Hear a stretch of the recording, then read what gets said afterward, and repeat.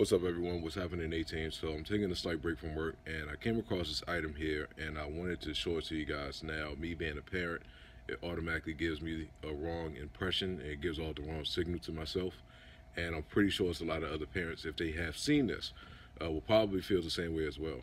So I'm going to show you this item and immediately when I show it to you, you're going to think one thing automatically. So this here, I've actually kind of adjusted this packaging so it didn't look um, exactly as it seems, but it's actually not that. But when I actually do this to it, this is this is what's so crazy.